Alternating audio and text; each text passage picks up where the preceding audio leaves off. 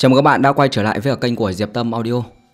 Và ngày hôm nay thì chúng ta sẽ cùng nhau đến với cả tập 47 Của bộ truyện Tu Chân Kiếp Tác giả vô tội qua giọng đọc của Phi Tùng.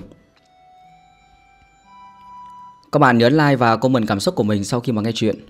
Đặc biệt là đừng quên ấn đăng ký kênh của Diệp Tâm Audio Để mà có thể đón nghe những tập truyện mới nhất của Phi Tùng diễn đọc.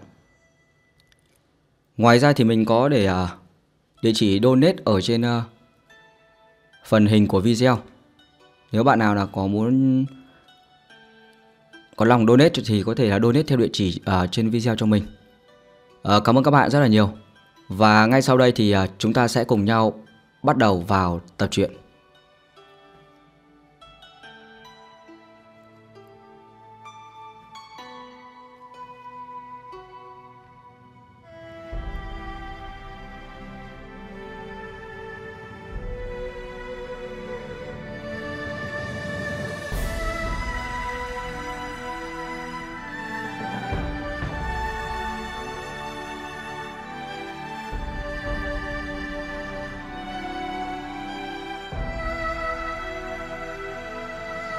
Lại nói thì lúc này Ngụy Tác cùng với cả nhóm tu sĩ trẻ tuổi đi vào trong Mây Vân Thành.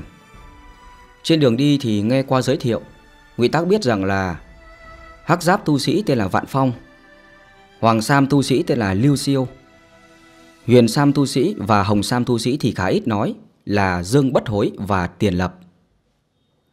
Bốn tu sĩ trẻ tuổi này hỏi danh hiệu của Ngụy Tác, gã tùy tiện dùng cái tên Quý Lý mà thường dùng thức trước đây. Sau khoảng một tuần hương thì bọn ngụy tác đến được mây vân sơn ngập đầy hoàng sắc kỳ vân. Làn mây này cũng cực kỳ đặc biệt, thị tuyến đại khái cũng chỉ được khoảng chừng 10 trượng. Ở trong hoàng sắc kỳ vân này thì có là thổ hệ linh khí tồn tại, thoang thoảng cái mùi tanh đặc hữu của đất. Theo lý thì hoàng sắc vân khí này chỉ có thể do thổ hệ pháp trận sinh thành. Nhưng mà thần thức của gã đã quét kỹ mà không tìm được dấu hiệu bày trận nào cả. Nghĩ kỹ ra thì mấy trăm năm nay có vô số tu sĩ lợi hại tu vi cao hơn gã nhiều, Mà cũng chẳng tra ra được nguyên nhân về mê vân thành. Thì gã liền không phí óc nữa. Tặc lưỡi khen ngợi, Đoạn đi vào hoàng sắc vân khí. Ở theo thái độ của tiền bối, Vừa mới ngắm mây vàng này, Thì tựa hồ là đây chính là lần đầu tiên đến mê vân thành sao? Hắc giáp tu sĩ trẻ tuổi vạn phong nhanh nhẹn đi trước dẫn đường, Đồng thời nhiệt tình mà hỏi. Ngụy Tác bình tĩnh gật đầu. Ờ Mỗ đây là lần đầu tiên vào Mây Vân Thành. Cũng không hiểu gì lắm. Ờ các vị hiểu nhiều về ngôi thành này sao? À Bọn họ thì cũng là lần đầu tiên đến Mây Vân Thành thôi. Còn vạn bối thì từng đến đây mấy lần rồi, Cũng biết đôi chút. À đúng rồi. Đến lần đầu thì cần chú ý mấy việc đó. Vạn Phong có ý lấy lòng ngụy tác, Thao thao bất tuyệt giới thiệu. Ở Mây Vân Thành này tuy là kiến lập ở trên núi ở vùng Mây Vàng nhưng là vì vùng mây này là quá thuận tiện cho tu sĩ mai phục ám toán, Nên là mê vân tông coi vùng mây là phạm vi bảo vệ. Ở trong vùng mây này thì không ít tu sĩ mê vân tông tuần tiễu, Nghiêm cấm đấu pháp đó. Tức là hiện tại chúng ta vào trong mê vân thành Thì không được đánh nhau. Ở trong vùng mây vàng đó thì chúng ta có thể đi thoải mái. Trừ phía bắc dày đặc có thổ hệ linh khí làm cấm địa của mây vân tông, Cấm tu sĩ qua lại đó cũng vì hoàng sắc vân khí này hàm chứa thổ hệ linh khí Nên là khai sơn tổ sư của Mây Vân Tông Cũng sở trường về thổ hệ công pháp cùng với hà thuật pháp Mới chọn nơi này để, để mà lập phái đó. Còn trong cấm khu thì Mây Vân Tông xây nhiều điện vũ lắm Là nơi đỉnh cho đệ tử tu luyện. Cũng coi như là một phần ngoại sơn môn. Thổ hệ thuật pháp của Mây Vân Tông thì nổi danh nhất là Hoàng Long chân giải thuật pháp Là địa cấp cao giai khi mà thi triển ra thì sẽ hóa thành thổ hệ Hoàng Long dài mấy cả chục trượng. Không chỉ có thể tiến công vào phòng thủ, đặc biệt nhất là rất có linh tính. Cũng giống như là thổ hệ yêu thú được nuôi dưỡng vậy. Có thể cõng tu sĩ phi độn, hộ chủ đối địch, thập phần huyền diệu. À, lại có cả cái thuật pháp huyền diệu đến thế sao? Ngụy Tác hơi kinh ngạc nhưng mà cố tỏ ra vẻ thờ hơ, thuận miệng mà hỏi. Mà không rõ phường thị nổi danh ở Mây Vân Thành là nhà nào thế?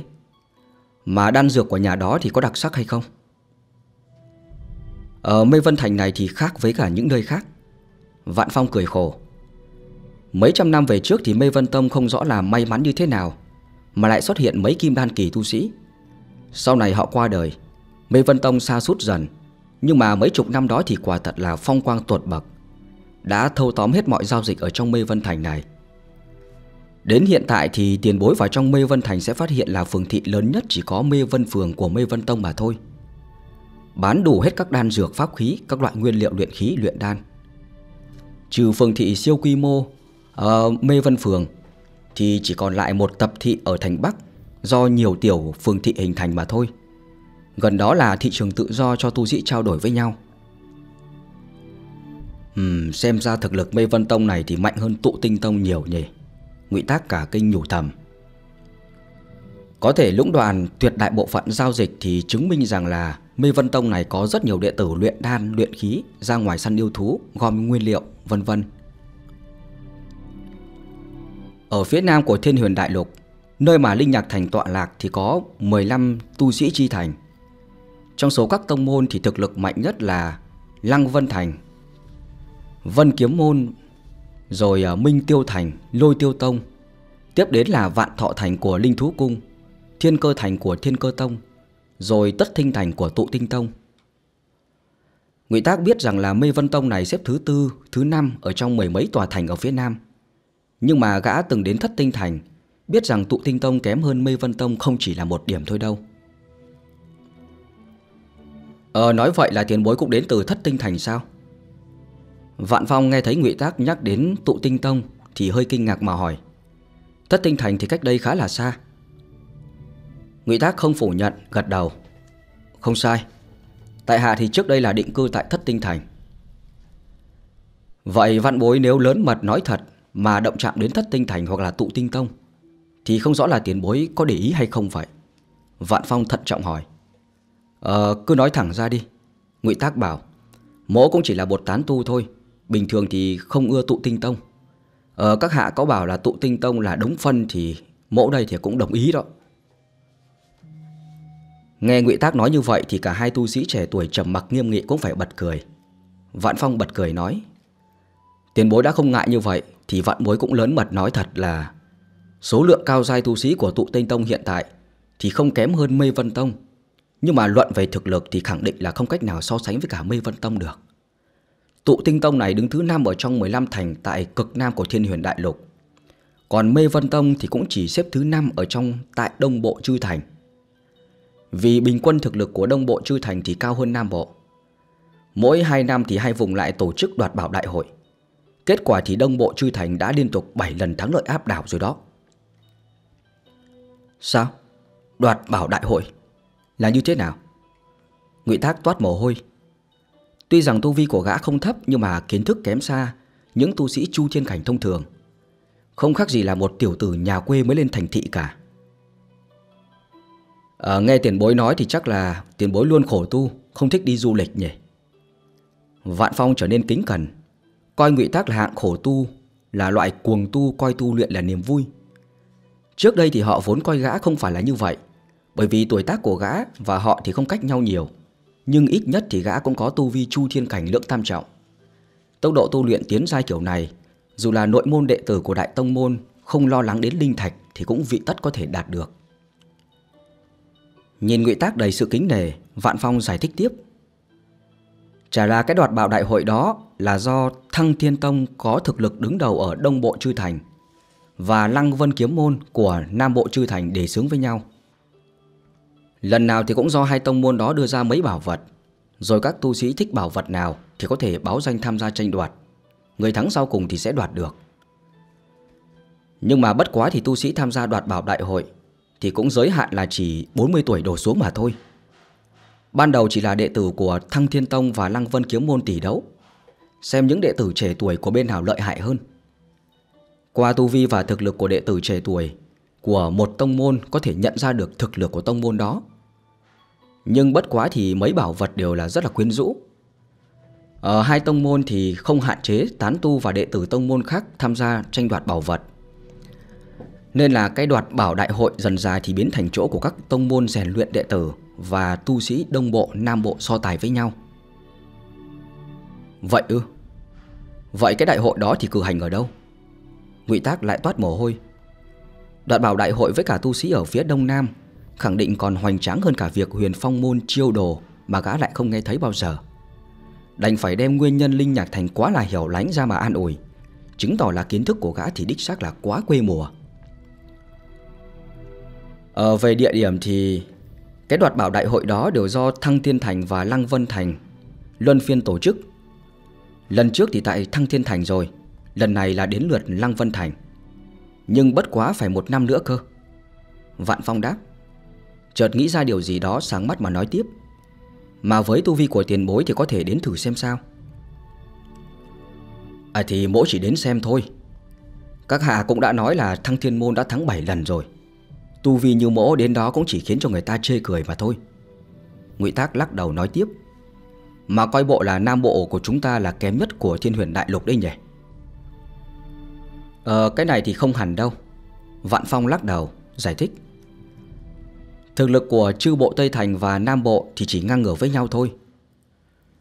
Nói đến các môn phái lợi hại thì tu sĩ thông thường đều nghĩ đến Trung Bộ, Đến đại tông môn đỉnh cao như là huyền phong môn. Nhưng mà thật sự thì trung bộ của thiên huyền đại lục Cũng bởi vì là rộng lớn hơn tất cả những nơi khác cộng lại, Có tới hơn một ngàn tu sĩ chi thành, Mà phần lớn tu sĩ chi thành lại cách xa thiên khung, Nên là tuy có những tông môn mạnh như là huyền phong môn nhưng mà những tuyệt đại đa số thành trì còn lại Thì không bằng thành nhỏ lẻ như là Tê Phượng Thành, Vốn không có tông môn nào lợi hại. Để mà nói về thực lực bình quân tối đa lợi hại Thì kỳ thực là phải nhắc tới Bắc Bộ Chư Thành ở Thiên Huyền Đại Lục. Thiên khung ở đây thì nhiều chỗ bị nứt, Hoàn cảnh sinh tồn của tu sĩ ở đó thì ác liệt lắm, Kinh nghiệm đấu pháp hơn nhiều chúng ta. Tối lợi hại đương nhiên là Bắc Minh Tông, Có thể à, sánh ngang với cả huyền phong môn đó.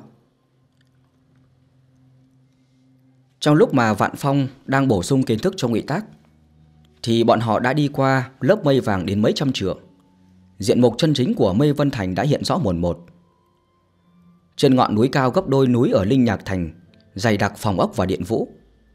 Đứng ở dưới chân núi thì Ngụy Tác thậm chí có một cảm giác là mình nhỏ bé như là con sâu cái kiến. Tuy rằng thực lực của Mây Vân Tông thì không đứng trong ba tông môn hàng đầu ở các thành phía đông, nhưng mà quả thật là quy mô cũng là lớn nhất trong số các thành mà gã đã từng thấy. Ở tòa thành này đã lớn như thế này rồi. Vậy thì những thành trì khác còn gấp mấy lần thì sẽ như thế nào đây nhỉ? Nhất thời trong lòng Ngụy Tác không ngăn được ý niệm này dấy lên trong đầu. Vốn gã theo bọn Vạn Phong Chỉ là với mục đích là tiết kiệm công sức, Không cần hỏi cũng đến được nơi huyền phong môn chiêu đồ xem náo nhiệt Nhưng mà xem ra đã cả nghĩ chỉ thoáng nhìn thì đã thấy vô số tu sĩ ở trong mê vân thành Đã đổ xô về một nơi ở lưng núi. Tự hồ là trên một sơn cốc lớn có lơ lửng một chiếc kim sắc cự thuyền.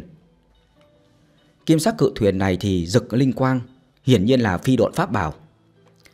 Mà phi độn pháp bảo này thì quả thật là quá lớn, Ít nhất cũng phải 7-800 trượng vuông. Cách xa như vậy mà vẫn khiến cho người ta phải chấn động khó tưởng tượng được. Ôi, nhìn kìa. Là phi độn pháp bảo ư? Lớn quá nhỉ? Chẳng khác nào một ngọn núi lơ lửng cả. Thực lực của huyền phong tông quá mạnh. Phi độn pháp bảo lớn như thế này, Cần bao nhiêu pháp trận mới giữ nổi được chứ? Môn phái bình thường Không thể luyện chế được phi độn pháp bảo bằng như thế này đâu.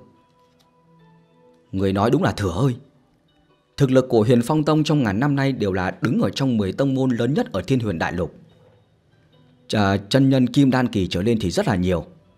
Thậm chí còn có cả chân nhân đột phá kim đan cảnh, Đạt tới thần huyền cảnh rồi. Thực lực đó đủ để dọa chết người khác đó. Mà ta dám khẳng định đây là thần vương Kim Chu. Khẳng định đây là thần vương Kim Chu của huyền phong môn đó. Đây chính là pháp bảo thần huyền cảnh tu sĩ mới luyện được, là đạo giai trung phẩm pháp bảo đó. Khi mà nhìn thấy kim sắc cự thuyền lớn đến như thế thì à, bọn Vạn Phong càng thêm chấn động. Ngay cả Dương Bất Hối và Tiền Lập ít nói nhất Thì cũng không nén được mà lên tiếng kinh hô. Ờ thần Vương Kim Chu sao? Là đạo giai trung phẩm pháp bảo ư? Nghe bọn Tiền Lập kinh hô như vậy, ngụy Tác buộc phải nhìn lên chiếc thuyền. Trước đây gã chưa bao giờ thấy đạo giai pháp bảo nào. Đạo giai pháp bảo, Môn phái như là thiên nhất môn thì cũng đều chỉ có một hai món mà thôi. Càng nhìn thì càng cảm giác là nó nặng lề Gã khẳng định rằng là kim sắc cự thuyền này mà ép xuống, Với tu vi và thực lực hiện tại thì không cách nào mà ngăn cản được. Kìa kìa kìa kìa, Mau xem kìa. Thần Vương Kim Chu hạ xuống rồi kìa. Chiêu đồ đại hội của huyền phong môn sắp bắt đầu rồi đó. Đột nhiên tiếng của vạn phong kinh hô. Sau đó thì thấy kim sắc cự thuyền đang lơ lửng Tại một sơn cốc ở lưng núi Mê Vân Thành Đang từ từ hạ xuống. Nào, chúng ta cũng đi thôi. Ngụy Tác phất tay không nói thêm gì nữa Mà lướt nhanh tới. Gã ngắm mấy bức tranh của Thủy Linh Nhi đã nhiều năm, Bảo nàng chính là động lực ban đầu cho gã tu luyện, Là tình nhân trong mộng của gã thì cũng đúng. Vạn nhất Thủy Linh Nhi thật sự đến đây, Chỉ xuất hiện một chút thôi, Gã lại chậm chân một tí xíu không thể nhìn thấy Thì thật là ân hận cả đời. Ờ tiền bối này Ở phổ thông tu sĩ trong mê vân thành Không được phi độn quá ba trượng trở lên đâu. Ai mà vi phạm sẽ bị tu sĩ của mê vân tông đuổi khỏi thành đó. Vạn Phong ở phía sau nhắc một câu rồi cũng lao nhanh tới. Thần vương Kim Chu của huyền phong môn thì đang ở trong Linh Chi Cốc. Sơn cốc này diện tích mấy chục trượng vuông, Mọc toàn là mộc linh chi tím ngắt. Loại mộc linh chi này có tác dụng chữa bệnh với cả phổ thông phàm nhân bình thường, Nhưng mà vô dụng đối với cả tu sĩ, Nên là lâu dần sơn cốc mọc không ít cây mộc linh chi cao bằng hai thân người. Trông như là những cây tán lớn màu tím. Lúc mà ngụy Tác và bọn Vạn Phong đến ngoài linh chi cốc, Cả cốc đã chật cứng cả người, Ít nhất cũng phải chừng khoảng 10 vạn người. Thần vương Kim Chu thì lúc này đáp xuống, Nhưng mà không chạm đất mà lơ lửng ở độ cao chừng khoảng 3 trượng, Không khác gì một kim sắc bình đài khổng lồ. Đến gần thì chỉ thấy bề ngoài con thuyền Gồm một tòa lầu hai tầng, Cơ hồ là dùng tinh kim luyện chế thành. Tạo cho người ta một cảm giác ừ, thật là kinh nhân. Con thuyền không có phù văn nào đặc biệt, Nhưng mà hiện rõ dấu tích của các loại pháp bảo, Thuật pháp đánh vào, Tạo ra lực xung kích kinh tâm động phách cho thị giác. Còn ở trên sàn thuyền và các lầu Thì được bao phủ bởi bạch sắc linh quang cháo. Thân thuyền cũng tỏa dạng kim sắc quang hoa như là sóng nước lan đi khắp cốc Ở mỗi thuyền đặt ba ngọc liên đài xanh biếc. Ngồi phía trên đó là ba hoa phục lão già. Vì ở giữa có linh quang cháo nên không ai nhìn rõ được mặt mũi bọn họ. Trước mặt ba lão già thì đặt một pháp khí cỡ lớn người thật Hình dáng như là thiềm thử. Lưng thì chi chít phù văn hình đồng tiền vàng Trông cực kỳ đặc biệt Nhất thời không nhận rõ tác dụng. À Cho hỏi là hiện tại là đang diễn ra đến đâu rồi? Thấy các tu sĩ tự hồ đều dừng lại chờ đợi ngụy Tác liền hỏi một à, tử y tu sĩ đứng bên cạnh. Đối phương chỉ là một tu sĩ thần hải cảnh. Thấy ngụy Tác là tu sĩ Chu Thiên Cảnh Thì không dám đắc tội Liền vội vàng giải thích. Ờ, ba người trên thuyền kia đều là trưởng lão của huyền phong môn Là phụ trách chiêu nạp đồ đệ lần này tại Mê Vân Thành đó. Ban nãy họ nói mấy câu khách cháo lắm. Tiếp đến thì sẽ do mấy tên đệ tử thể hiện cho người ta thấy. Khi mà gia nhập huyền phong môn Thì sẽ được tu luyện loại công pháp của với cả thuật pháp gì Lợi ích ra sao? Thì, thì, thì, thì, thì, thế trong mấy đệ tử đó có Thủy Linh Nhi không? Một tu sĩ mới đến nơi Nghe tử y tu sĩ nói vậy thì cực kỳ hưng phấn trên lời vào Ui, thế này mà cũng mơ tưởng Thủy Linh Nhi á? Ngụy Tác vừa ngoái lại thì thiếu chút nữa trợn tròng trắng mắt lên ngất xỉu. Cái vị nhân huynh này thì thấp hơn gã một cái đầu, trông như là một quả dưa vậy, mặt thì phèn phẹt phèn phẹt phèn phẹt.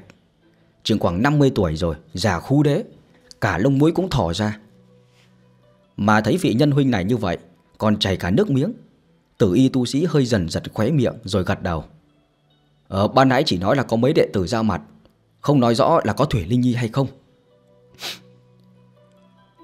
Và lúc này trên lầu cát của kim sắc cự thuyền Thì bước ra một đệ tử trẻ tuổi của huyền phong tông Người này mặc bạch y Mày kiếm mắt sáng Thoạt nhìn tạo cho người ta một cảm giác siêu thoàn pháp tục Vẻ đẹp thì vô cùng đẹp đẽ Ngụy Tác liếc nhìn ở bên ngoài linh chi cốc dày đặc tu sĩ. Nếu không vì các tu sĩ đều e rẻ nhau Cố tình giữ cự ly Thì chắc là sân cốc này đã nước chảy không lọt.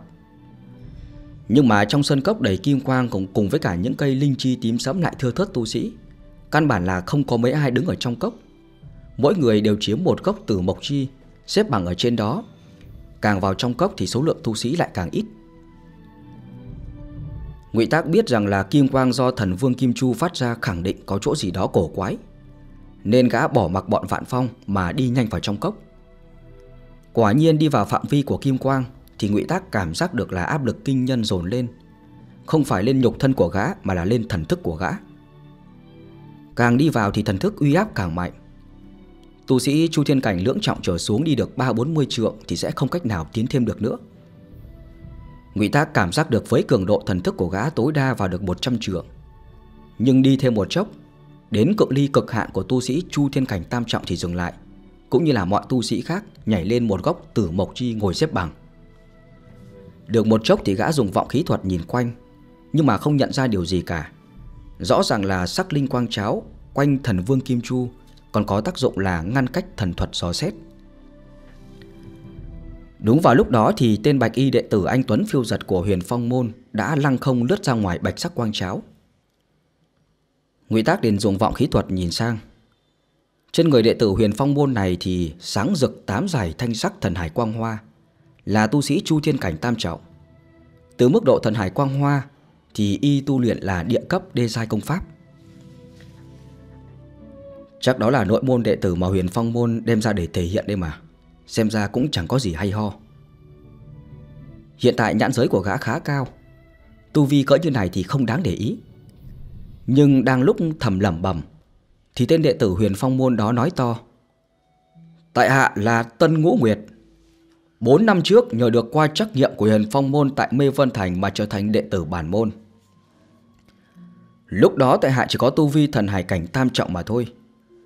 Cho nên hôm nay tất cả các vị Bất luận tu vi cao thấp, Chỉ cần chứng minh rằng mình có thiên phú, Có điểm đặc biệt, Thì cứ yên tâm tham gia trắc nghiệm Để chọn đầu đệ của bản môn. Cái gì cái gì? Bốn năm thôi ư? Khi mà Tân Ngũ Nguyệt vừa nói xong, Xung quanh đều vang lên tiếng hít hà hít hà hơi lạnh. Ngay cả ngụy Tác cũng phải trợn tròng mắt. 4 năm từ tu vi thần hải cảnh tam trọng để thăng đến chu thiên cảnh tam trọng. Tu luyện đệ cấp đê giai công pháp. Tốc độ tu vi tiến giai kiểu này, nếu như là không có bổ thiên đan, dù đến ngụy tác bỏ qua từ huyền chân quyết, lại còn có lục bào lão đầu trợ giúp, tu luyện từ đầu một môn địa cấp đê giai công pháp thì cũng tuyệt đối không thể đạt được mức như thế này.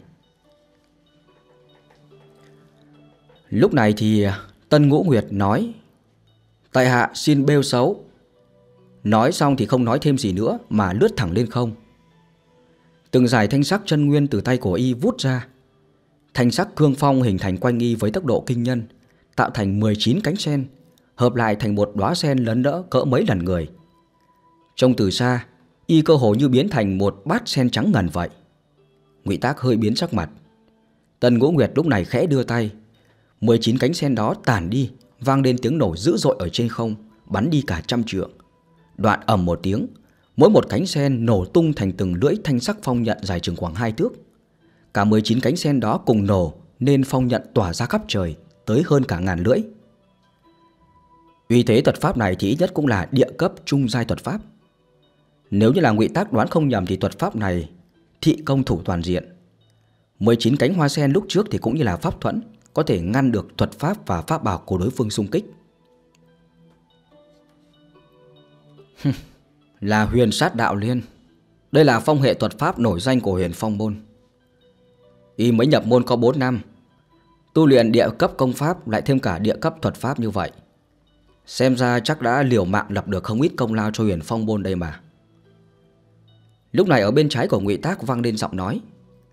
Ngụy Tác liền ngoái lại nhìn, Thì thấy ở trên hai cây tử mộc chi cạnh đó, Một thanh niên gầy khô mặc hỗn kim sắc pháp y và một tu sĩ mặt rỗ chẳng chịt mặc lục sắc pháp y đang bàn luận với nhau.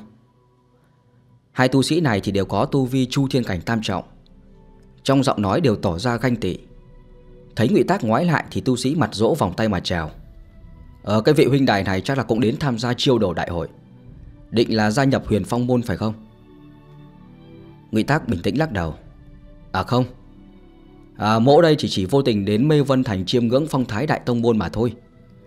Còn đối với cả cái việc gia nhập huyền phong môn gì đó, Thì à, ta không hề. Vậy xem ra huynh đài và bọn thại hạ đây là trí đồng đạo hợp rồi đó. Tu sĩ mặt rỗ tựa hồ là trời sinh hoạt bát. Nói xong thì liếc nhanh thanh niên gầy khô mặc hỗn kim sắc pháp y tỏ vẻ bất lực.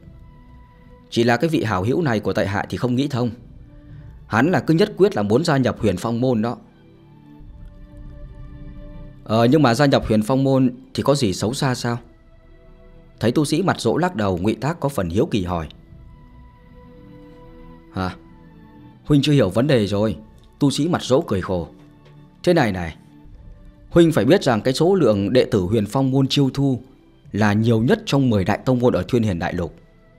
Nhưng mà tổng số đệ tử huyền phong môn Thì lại không nhiều nhất ở trong thập đại tông môn. Nguyên nhân là vì đâu? Chắc là huynh đài cũng hiểu. Ờ, ý của huynh đài là gia nhập huyền phong môn thì không hề nhàn hạ Mà phải rèn luyện môn nhân đệ tử phi thường nghiêm khắc. Và rất có khả năng là sẽ mất mạng sao? Ngụy Tắc máy động môi. Chuẩn rồi đó. Tu sĩ mặt rỗ vỗ đùi. Cái rèn luyện của huyền phong môn thì được coi là nghiêm khắc nhất ở thiên huyền đại lục. Ví dụ như là kiểm nghiệm mức độ trung thành của đệ tử mới nhập môn Thì thường phải đi thực hiện những nhiệm vụ phi thường nguy hiểm. Mọi đệ tử đạt tới chu vi chu thiên cảnh nhất trọng, Thì đều không được mang theo bất kỳ một linh thạch nào, Chỉ mang theo pháp khí đan dược hồi phục chân nguyên, Do một vài trưởng lão đưa ra bên ngoài thiên khung sinh sống một tháng. Chỉ khi nào mà sống sót ở bên ngoài thiên khung rồi, Lại còn săn được số lượng yêu đan nhất định, Thì mới chính thức trở thành nội môn đệ tử của huyền phong môn. Nếu như là qua được một tháng mà không đủ số lượng và chất lượng yêu đan, Thì cũng không thể qua được.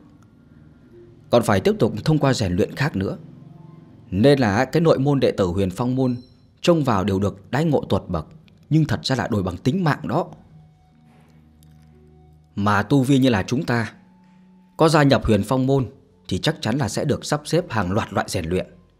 Sau đó thì mới thành đệ tử huyền phong. Giống như là cái tên tiểu tử này này, Gia nhập 4 năm, Tu luyện địa cấp công pháp, Địa cấp thuật pháp, Khẳng định là phải kiều tử nhất sinh vài lần rồi nếu không lập được công lao kinh nhân, Thì làm sao mà được những cái đại ngộ như vậy? Cha huynh Đừng có phí sức khuyên can ta nữa. Nghe thấy tu sĩ mặt rỗ nói vậy, ngụy Tác vẫn còn chưa kịp nói gì, Thì cái người thanh niên khô gầy mặc hỗn kim sắc pháp y Đã nhận ra dụng ý của y, Khẽ thở dài. Những điều huynh định nói, Tiểu đệ biết hết mà. Đích xác tự thân tu hành, Có lẽ càng an toàn nhưng mà những tán tu như là chúng ta Muốn trở thành kim đan cảnh khó khăn vô vàn. So với cả một đời nhạt nhẽo, Thì chi bằng gia nhập huyền phong môn, Biết đâu lại có thành tựu. Gia nhập môn phái như huyền phong môn Sẽ không lo bị các đại phái chọc giận. Lợi hại như thế nào, Tiểu đệ đã cân nhắc cả rồi, Đã quyết định cả rồi. Thôi mặc kệ hiền đệ đó. Đã quyết tâm như vậy rồi, Thì mẫu cũng chẳng nói thêm gì nữa. Tu sĩ mặt rỗ thì cũng là người hiền lành Thấy người thanh niên gầy khô nói như vậy Thì chỉ biết thở dài Không muốn nói thêm với cả ngụy tác nữa Đúng vào lúc đó thì huyền phong môn Tân Ngũ Nguyệt đã quay lại lầu các ở trong thần Vương Kim Chu. Một nam tử trẻ tuổi trạc y lại bước ra. Đệ tử huyền phong môn này thân hình đĩnh đạc sắc mặt như là bạch ngọc. Tướng mạo thì tựa hồ như là còn anh Tuấn hơn cả Tân Ngũ Nguyệt nữa, mặc lam sắc pháp y, chất liệu mềm mại, còn có cả vô số ngân sắc phù văn Tạo cho người ta một cảm giác như là một bầu trời đầy sao vậy. Y cười lạnh, không nói thêm gì. Lắc người lướt khỏi bạch sắc linh quang cháo, Quanh thần Vương Kim Chu. Ánh mắt của ngụy Tác thì hơi lạnh lại. Vọng khí thuật được thôi động. Đệ tử huyền phong môn này thì toàn thân phát ra lãnh ngạo khí tức. Ngay cả đến phong thái nhếch môi thì cũng cao hơn cả tân ngũ nguyệt. Tu luyện thì không chỉ là địa cấp đê giai công pháp Tu Vi cũng đạt tới chu thiên cảnh đệ ngũ trọng hậu kỳ. Xem ra không bao lâu nữa sẽ đột phá đến phân niệm cảnh. Ồ nhìn kìa, Có tuyết kìa, Tuyết rơi rồi kìa. Đột nhiên có người kinh hô. Ánh mắt ngụy Tác rời khỏi nam tử. Quả nhiên ở thấy tinh không thì thoáng đáng đầy băng hàn khí tức. Ở trong trượng quanh tên đệ tử huyền phong môn đó thì giải đầy bạch sắc tuyết hoa. Trong khoảnh khắc đó thì toàn bộ hoa tuyết và băng hàn khí tức ngưng tụ với tốc độ kinh nhân hình thành bạch sắc băng kiếm dài hơn cả 50 trượng trước mặt của tên đệ tử huyền phong bôn đó. Sau đó y chỉ lạnh lùng chỉ tay, bạch sắc băng kiếm chém mạnh xuống. Vum vum vum vum vum. Ai chà chà. Ngụy Tác thầm kêu. Trông thấy bạch sắc cự kiếm vừa chém xuống, không chỉ là không khí phía dưới bị đông kết thành mũi băng, mà lực xung kích ép cho thinh không nổ tanh tách, sơn cốc phải rung chuyển ầm ầm. Uy lực thuật pháp này tự hồ gần đạt đến linh giai trung phẩm pháp bảo. Đây chính là thiên sương kiếm đó, Là ừ, thiên cấp thuật pháp của huyền phong môn. Tên đệ tử này may mắn thật đó, Đã tu luyện được thuật pháp cỡ này rồi. Uy lực của thuật pháp này khiến cả tu sĩ mặt rỗ cũng phải kinh hô. Còn ánh mắt của thanh niên khô gầy thì quyết tâm gia nhập huyền phong môn càng thêm nóng bỏng. Phảng phất như là có hai ngọn lửa đang cháy lên trong mắt vậy. Thực lực của tên đệ tử tinh anh của tông môn cỡ này thì quả nhiên là hơn nhiều tông môn bình thường rồi. Xem ra với tu vi cùng thực lực của ngụy Tác, Đối với cả đệ tử tinh anh của đại tông môn thì không có bất cứ một ưu thế gì cả. Chém ra được nhát kiếm có uy mãnh như vậy, Đệ tử của huyền phong môn phất tay áo, Sau đó lẳng lặng quay lại lầu các của thần vương Kim Chu. Tiếp đó tình cảnh chấn động, tuột bậc đột nhiên xuất hiện. Một vị lão già trong ba lão già ngồi trên đầu thuyền đưa tay cái khoang thần vương Kim Chu tách đôi ra Đáy khoang thì giấy lên Lao lung hình vuông vàng rực Trong lao lung đó thì Hắc Vân đặc biệt sôi trào Không nhìn rõ đâu là hư thực Nhưng cùng với cả lọ thuốc của lão già bắn vào Như là va vào vật gì đó chát một cái, giải ra hoàng sắc dược phấn. Hắc Vân đột nhiên phun trào, và bên trong như là có vật gì đó đang ngủ say, co quắp, chợt đứng bật dậy. Trong Hắc Vân lại là yêu thú đặc biệt có ngoại hình trông như là một con quạ đen, nhưng mà trên đỉnh đầu lại mọc ra một cái sừng. Hả? Là Hắc Yểm Ma nha. Nhìn rõ hình dáng yêu thú đó, tuyệt đại đa số tu sĩ tại trường đều kêu lên đầy cực kinh kinh kinh ngạc. Ngụy Tác cũng hít một hơi lạnh. Phải biết rằng hắc yểm ma nha là lục cấp đê gia yêu thú, không chỉ có thể phát ra hắc khí ẩn tàng thân ảnh, mà hắc khí còn có thể tê liệt pháp khí, làm tan đi uy năng của tu sĩ. Tuy nhiên thì Huyền Phong Môn đưa ra yêu thú cỡ này làm cái gì? Hắc yểm ma nha thì tự hồ là bị dược vật đó chế trụ, chợt tỉnh giấc. Thấy có nhiều tu sĩ đứng xem thì nổi giận, va đập vào kim sắc lung lao. Mỗi một thanh lan can của kim sắc lao lung đều lớn cỡ đùi người Hắc hiểm ma nha va vào thì sáng lên phủ văn Cộng thêm cả thần vương kim chu ở trên rực lên kim quang trấn áp Thành ra hắc hiểm ma nha thì không thể thoát được Nhưng mà mỗi một lần va chạm đều phát ra tiếng nổ khiến người khác phải dùng mình Khi mà một quang của mọi người đã bị lục cấp đê gia yêu thú sánh ngang với cả phân niệm cảnh nhất trọng hấp dẫn, Thì bất chợt một thân ảnh đẹp đẽ xuất hiện ở trong thị tuyến của mọi người Nhất thời đại đa số tuyệt đại tu sĩ đều ngừng thở. Đệ tử huyền phong môn lộ diện lần này là một tuyệt sắc thiếu nữ. Thiếu nữ này mặc pháp y màu lục nhạt, da trắng như tuyết, ngực vút eo thon, gương mặt trái xoan đẹp đẽ vương nụ cười mơ hồ. Khó quên nhất là mái tóc màu xanh của nàng ta mềm mại khôn tả, trông như lụa là đang phát quang vậy, tạo cho người ta một cảm giác nàng ta là nét thanh linh hiếm có. Nàng ta đứng trên không khác nào tiên tử trên trời hạ phàm Tạo cho người ta một cảm giác đẹp đẽ đến nghẹt thở Là Thủy Linh Nhi sao? Nhất thời nhiều tu sĩ trẻ tuổi đều bột miệng hỏi Khóe môi nàng ta có nốt ruồi Đây không phải Thủy Linh Nhi đâu Là sư muội của Thủy Linh Nhi Hoàng Yên Nhi Một tu sĩ khác lên tiếng giải thích Hả? ngay vậy Ngụy Tác nhìn kỹ thì nhận ra là thiếu nữ tuyệt sắc lướt khỏi bạch sắc linh quang cháo này có một nốt ruồi mỹ nhân thật. Nốt ruồi này trên khóe môi của nàng ta trông như là mây khói nhàn nhạt, nhạt bao quanh núi sông vậy. Không những không ảnh hưởng đến dung nhan mỹ lệ mà tạo cho người nàng ta một khí tức thông tuệ đặc biệt. Cùng với cả lúc đó thì lão già huyền phong môn ở trên đầu thuyền lại vung tay. À, lái lồng lại văng rực bốc lên, bay ra khỏi bạch sắc linh quang cháo, kim quang lóe sáng, cái lồng được mở ra. Cái gì, cái gì? Huyền Phong Môn định để nàng ta một mình đối với với cả lục cấp yêu thú sao? Lúc này, Linh Chi Cốc xôn xao tiếng kinh hô.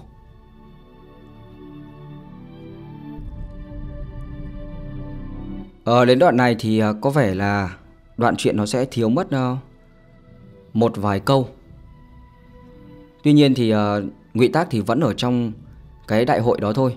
Tuy nhiên thì sẽ bị mất vài câu nói chuyện nhưng mà không ảnh hưởng chỉ đến nội dung cả là Rất mong các bạn là thông cảm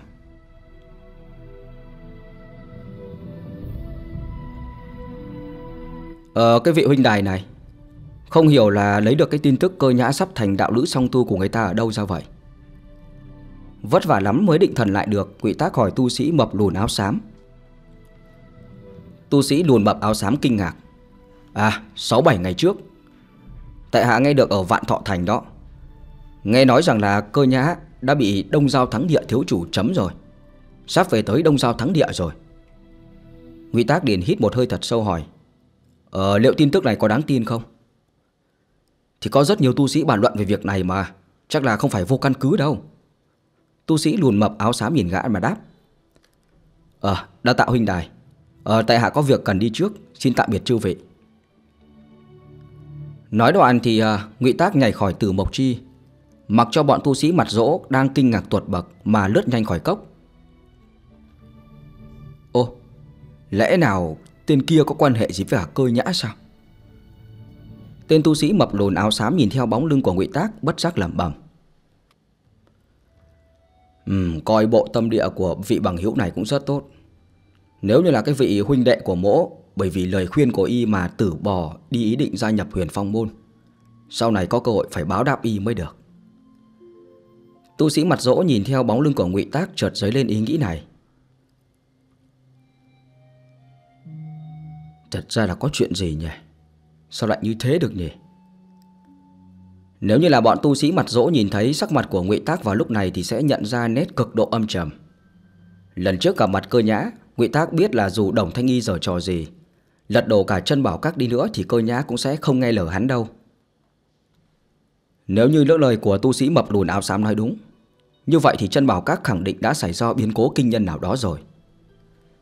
Mà khi đó thì ngụy Tác sẽ không ngại ngùng mà dùng phương thức tổn thất nhiều linh thạch là trực tiếp tiêu hao một viên hợp hư đan và một nhánh tử hồ hoa để mà đề thăng nhất giai tu vi. Vì muốn tiết kiệm thời gian, e rằng sẽ có biến cố. Đột nhiên nghe được tin này, lẽ nào còn không khiến cho Ngụy Tác kinh nộ dị thường. Nhưng mà nơi này cách Linh Nhạc Thành ít nhất cũng là khoảng 7-8 ngày. Dù nóng lòng đi nữa thì cũng là vô dụng mà thôi. Chính vì vậy, dù là bây giờ đang đùng đùng nổi giận, mặt mũi tối sầm, ra khỏi phạm vi của thần vương Kim Chu thì gã bình tĩnh trở lại. Hơi trầm ngâm một chốc, Ngụy Tác liền đi về phía nơi ở trong Mê Vân Thành Trung, chìm ở trong hoàng sắc quang cháo. Trong đó là một quần thể kiến trúc gồm mấy chục san điện vũ, là phường thị lớn nhất ở trong thành, Mê Vân Phường. Lúc này gần như là mọi tu sĩ ở trong Mê Vân Thành đều đến Linh Chi Cốc xem náo nhiệt. Ngôi thành mênh mông có một cảm giác trống rỗng lắm. Hai đệ tử của Mây Vân Tông đang đứng ở cửa của Mây Vân Phường phụ trách đón khách. Thấy Ngụy Tác tới thì tỏ vẻ kinh ngạc.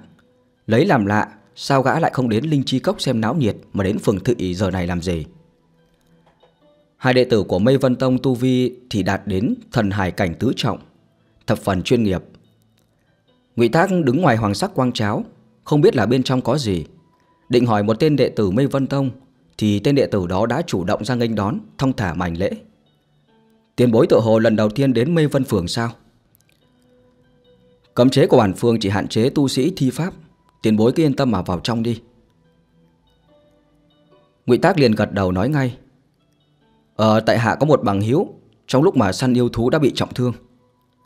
Muốn mua đan dược liệu thương. Tình hình thì tương đối là khẩn cấp. Hai tên đệ tử Mê Vân Tông tỏ vẻ là hóa ra là như thế. Ờ đệ tử đón gã cũng nghiêm túc hẳn lên. Vậy thì xin tiền bối, theo tại hạ. Ờ tiền bối đợi một chút đã. Dẫn ngụy Tác vào trong đại sành Tới một dãy điện vũ. Đệ tử của Mê Vân Tông này đi nhanh vào, Nhanh chóng dẫn một bạch diện trung sĩ Mặc áo đen đi ra. Ờ nghe nói vị huynh đài này Có một bằng hữu trong lúc săn yêu thú đã bị trọng thương. Muốn mua đan dược liệu thương sao? Dạo bước ra ngoài, Bạch diện trung sĩ, Tu vi chu thiên cảnh lưỡng trọng không thừa lời. Vừa quan sát ngụy Tác vừa hỏi Không rõ là vị bằng hiếu của huynh đài Thụ thương như thế nào. À, Bị man thú làm tổn thương nội phủ Xương ngực cũng gãy. Ngụy Tác bình tĩnh mà nói Lúc trước thì có dùng à, mấy viên tục mệnh đơn Nhưng mà không thể ngăn cản được thương thế ác hóa. À, Không rõ là trong quý phường thị này có bán linh đan thích hợp hay không. Vậy thì xin hỏi Không có linh đan cứu trợ thì liệu vị bằng hữu đó tối đa chống chọi được bao nhiêu ngày? Bạch diện tu sĩ hỏi. Sợ ngụy Tác hiểu lầm thì giải thích thêm. Ờ huynh đài không đưa người đó tới, Nên tại hạ đành phán đoán thương thế. Mắt ngụy Thác hơi ánh lên. Đại khái không quá 10 canh giờ đâu. 10 canh giờ sao? Thương thế như vậy thì đích chắc là cực nặng rồi.